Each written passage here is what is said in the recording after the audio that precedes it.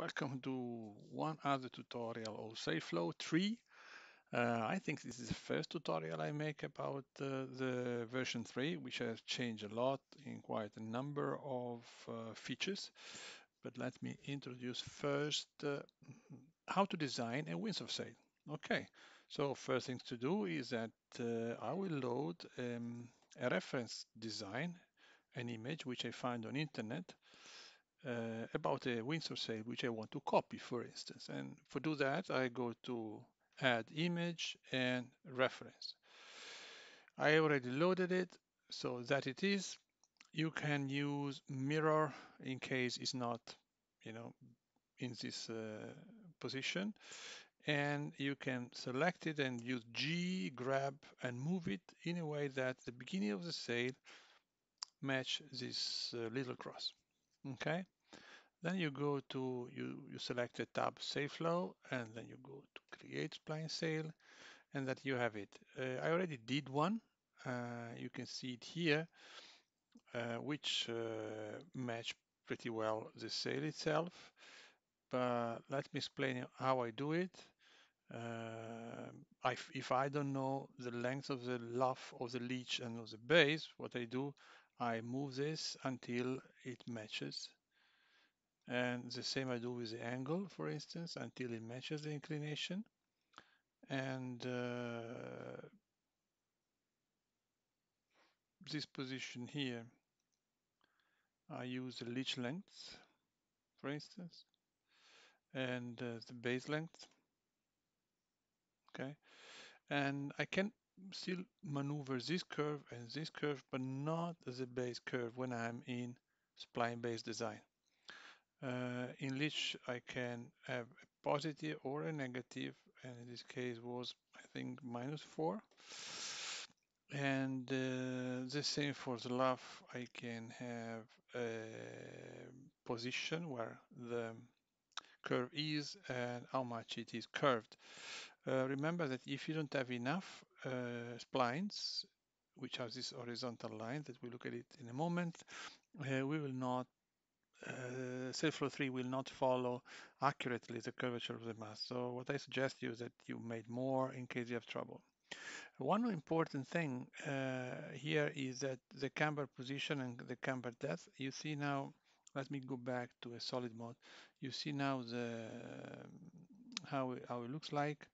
Uh, I can increase the camber depth, for instance. Okay, so you want to have something small, I suppose, and I can change where it is. Okay, there is also a two-point uh, base design where you have more control on the depth of the sail, but it's slightly more complicated. For this example, I will use this mode. So let's assume this is what I want, okay? So I click in the screen, now I'm in edit mode, which is by the way written also here. I go to top view mode, very important, because then whatever I do, I always move the point on XY plane and not in Z. And for instance, I want to follow this curve. Uh, you have several ways you can do it, but for me the best is to select this segment here, say grab and move it here. Also here it's not perfectly aligned, so I'll move it down here. And now I have this nice curve. If I want to have it more close to this uh, um, dot here, what I do is that with this selected, I go to item and this is the attraction value if you like and if I increase attraction value you see the curve gets more close to it or then I can you know, move it and do whatever I want with it. Mm, I could do something similar here however I don't have this uh, double dot so what I can do is that I move this here and this means that this curve will be in this direction but maybe this is what I wanted. Uh, I move this away this a bit more here and then I increase the strength.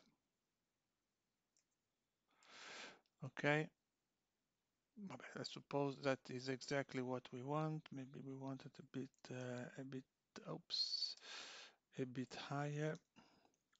Well, this is maybe too high. I go down, well, enough. Okay. Now I can play it with this uh, as much as I want. Uh, I can grab this and move it because my, it was not exactly what I It's not exactly the curve that I want. Okay, maybe that exactly. Another things I can do, I can play with the twist. So I can uh, open up a bit sail here and maybe also here and uh, know depending from what I want okay so I finished and I'm not a windsurf, windsurf sail design so apologies for that. I finish I go to object mode I press tab actually to do that. SailFlow. And I convert to a mesh. Sorry I need to select it and convert to a mesh. I uh, okay now I have a mesh. I don't have any more a, a spline surface. So what I have to do now is to create panels. Uh, my sail below here has already this. And the way to do it, I use Panel Cutter, which is a new tool which has been introduced in SailFlow 3. What is this uh, Panel Cutter? It is a system to cut uh, one object using a second object and using the edges of the second object. Now I'll show you what, what I mean. I create a grid like that. Subdivisions in X, I can put one and subdivision in uh, in Y, seven in this case. Okay, now I have this object. I move it somewhere here, I size it, and maybe I rotate it. Mm, okay, now I want to align all those lines, this one, the cross, the say, in a way that they really cut where these buttons are. Go to edit mode, pressing tab, press 1 so I can select the vertices and now I start moving the vertices in a way that the edge, the line that connects the vertices, cut exactly in the point where I want. Uh, remember that these um, vertices, the one connecting the edges, has to stay outside the sail. Uh, they cannot be inside, they have to be outside, otherwise it will not work. Okay, almost there. Maybe I put too many, I don't know. I'll, I'll see in a second. One here, one here. Uh, let, let me move this one very much in the top, this one.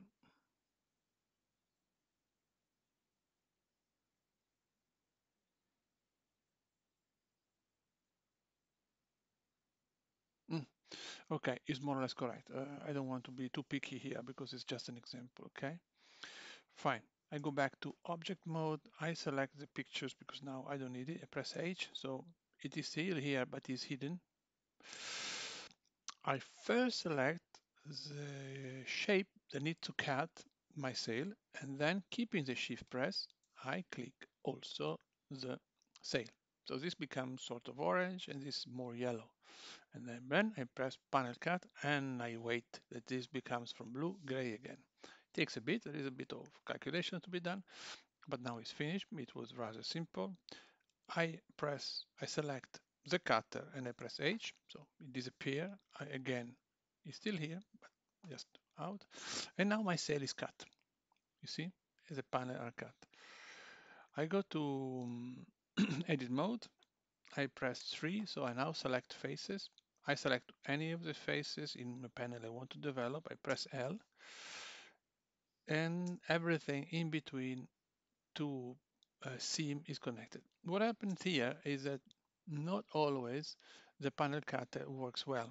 And in this case, he has not marked as seam all the new edges that he has created. So what I suggest to do in this case, which should be rare, maybe in, in the future I will try to make it back better. I select the one really on a, on a corner I go to the next one and keeping press uh, control, I select the second one and everything in between is now connected, okay?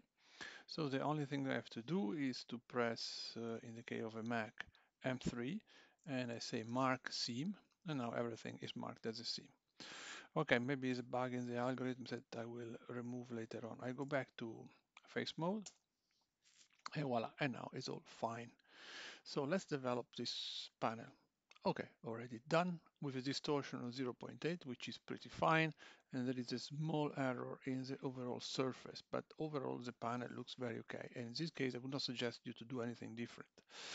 I go to another panel, I develop again. This time I have slightly more distortion, but it's still okay. go to the next one and I develop and now it's 12. Ah, 12 is really a bit too much.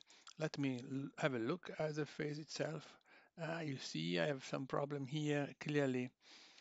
Uh, this happens typically when the curvature is too much for uh, for making a 2D surface out of it.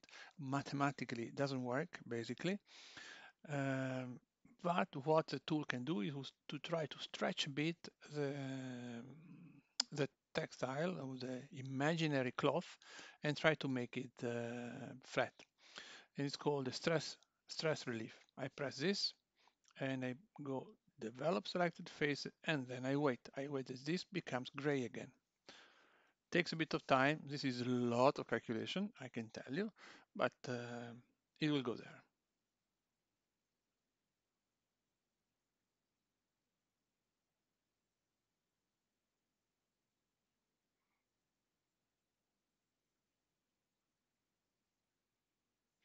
Okay, now it's finished. the average distortion is now 0.7 and uh, and the surf uh, I mean, the surface is, is more or less the same, which is very okay.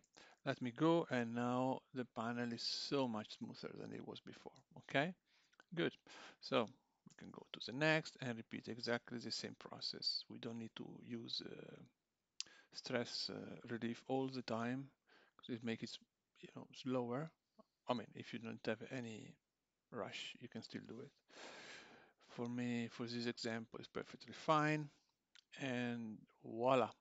Now let me hide the sail and now you have yeah you have your panels. Okay?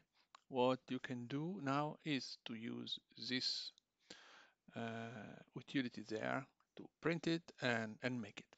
So that's it for the moment. That is uh, the example how to make a windsurf sail with the new SailFlow 3.